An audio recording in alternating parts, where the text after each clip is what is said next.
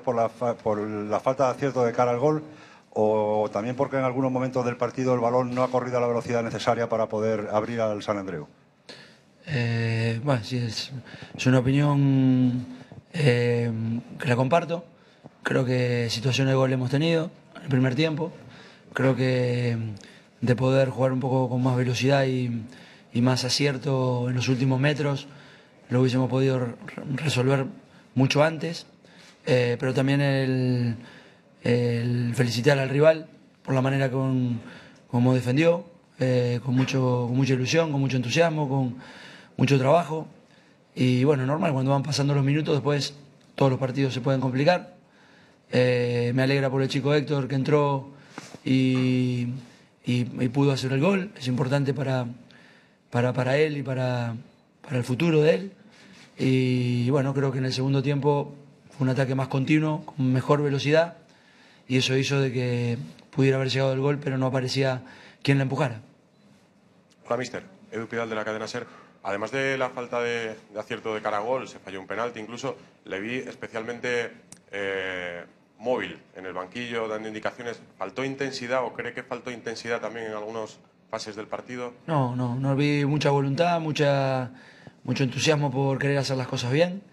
Posiblemente no, no en el primer tiempo, sobre todo, no fuimos un bloque a la hora de recuperar y cuando hay voluntades eh, para correr y no hay un bloque para jugar, eh, se puede malinterpretar la palabra intensidad. Eh, yo creo que voluntad hubo, ganas de, de, recuperar la pelota hubo, pero no éramos un bloque. Entonces cuando a uno le cuesta hacer un bloque, es más difícil recuperarla. Entonces puede aparecer esa situación que vos detallás. Aquí Tomás Martínez, de Radio Trinidad Bella. Eh, yo quería preguntar eh, si se esperaba primero que el Santandreu cambiara de esquema respecto al partido de ida y si después eh, también se esperaba que se pudiera complicar tanto el partido durante, durante una hora en la que el equipo fue por detrás en el marcador. Es fútbol y todos los partidos se pueden complicar. Eh, utilizó un sistema seguramente para asegurarse defensivamente y a partir de ahí empezar a jugar el partido. Me pareció muy correcto. Le salió bastante bien. Eh, le pudo haber salido mejor, salvo el último minuto del partido. Pero, pero bueno, hablar de nosotros, repito un poco lo que le decía a tus colegas. Eh, el equipo tuvo situaciones, por ahí faltó más velocidad en el juego, eh, mejor elección en el final de jugada, pero sí hubo, sobre todo en el segundo tiempo, una mayor ambición para, para ganar el partido. ¿Qué tal? Buenas noches, Mr. G. García, Gestión de Radio. Si nos puede contar qué tal está de moral Adrián, que quizás ha estado muy participativo en todo momento, pero de cara a puerta no ha tenido suerte esta noche.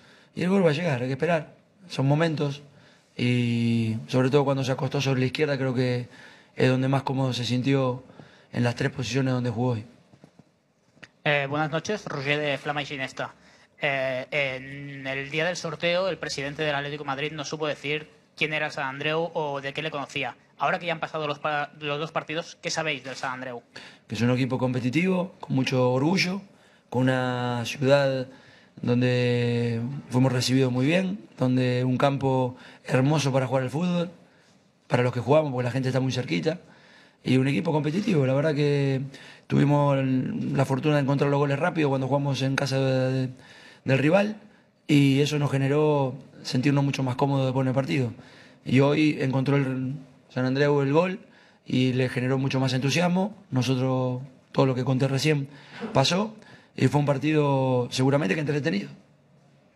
Eh, hola Diego. Eh, algunos jugadores, eh, por, pues por la dinámica del, grupo, porque está muy sólido, están encontrando pocos minutos, excepto partidos como este, Leo, Jiménez y demás. Eh, ¿Todavía es muy pronto o, ya estáis planteando la posibilidad de una posible cesión para que tengan más minutos de cara a seguir desarrollándose, sobre todo en los casos de los jugadores más jóvenes? Mira, nosotros normalmente cuando se hace una plantilla, eh, vos no le asegurás minutos a nadie, los minutos se los van ganando ellos.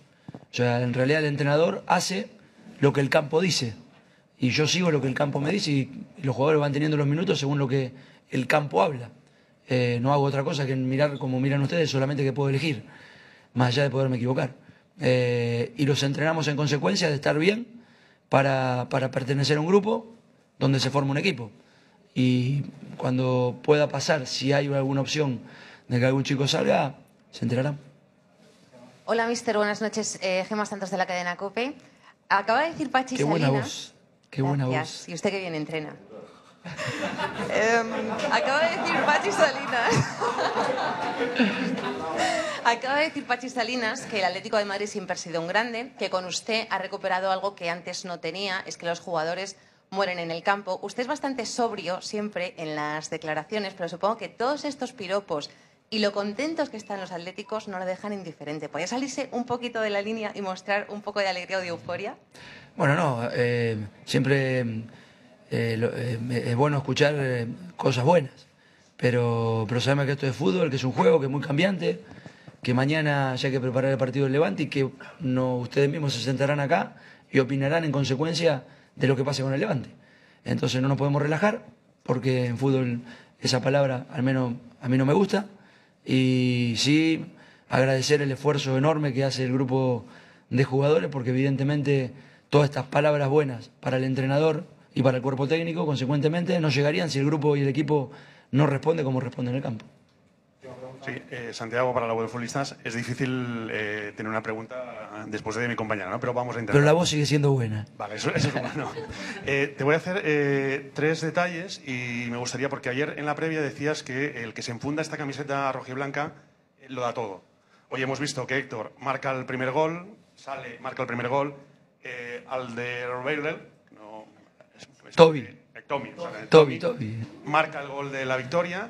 Y un detalle anterior y es eh, que antes de los dos goles sale Gaby, el gran capitán, y empieza a funcionar el equipo. ¿no? Cuando usted dijo ayer este mensaje, ¿cómo se le queda eh, el cuerpo eh, después de haberlo vivido en el campo hoy? ¿no? Me- satisfacción por la respuesta de, de los jugadores. Eh, repito una vez más, creo que todo el compromiso que están teniendo de cara a lo que necesitamos para ser competitivos lo muestran domingo, domingo tras domingo. Y hoy eh, seguramente la gente del Atlético de Madrid está muy feliz de tener un equipo como el que tiene, con los jugadores que pertenecen, eh, con el compromiso que pertenecen a su equipo, que están encolumnados detrás de una idea. Y es muy difícil eh, competir contra equipos que están encolumnados, en todo lo que sea, empresas, lo que usted refiera. Siempre cuando la gente está encolumnada es difícil de, sostener. Vamos a finalizar la rueda de prensa. Muchas gracias, Diego. Mañana entrenamiento a las 11 de la mañana, Ciudad Deportiva de Majadahonda.